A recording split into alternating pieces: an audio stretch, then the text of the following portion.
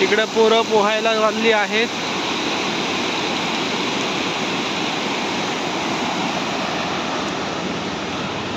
बघा निसर्गरम्य वातावरण.